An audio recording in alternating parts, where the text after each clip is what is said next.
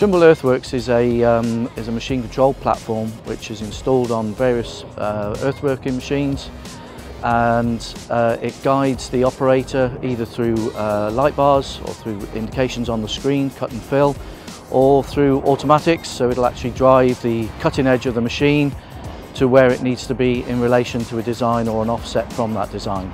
The Trimble product is uh, the best on the market. We've got the most user-friendly interface, which means that for a plant hire market in particular, it's easy for the, uh, the customer to adopt that technology with all users.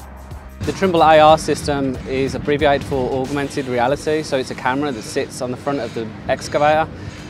So the AR system is an add-on which integrates with the earthwork system, a system which allows the operator to not only see what he's going to build, but he sees the existing ground and he can toggle between seeing the design with the break lines in it, or he can just look at the existing ground and get an idea of what he is going to be um, tasked to do. Working with Flannery's, uh, they're a very forward-facing company, always thinking about the next innovation in technology. Um, the moment they'd heard about this augmented reality camera system, uh, they wanted to adopt this.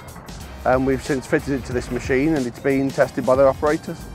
The AR system allows um, the operator to see the real working environment alongside a 3D model um, on his Trimble monitor, which can help health and safety wise, being able to see surroundings through the monitor and also allows them to visualise what the end model should look like.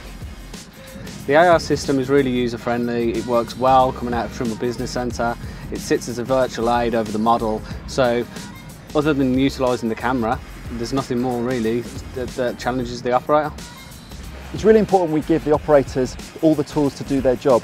We can't assume that somebody who's never used machine control can suddenly jump on and be effective. So training them, giving them advice, sitting them with an experienced operator and potentially also utilising simulators or um, digital machine solutions first so that they've got that skill set is really important. If any operator would like any more information on machine control and potentially taking part in some training, please get in contact with the Flannery training team.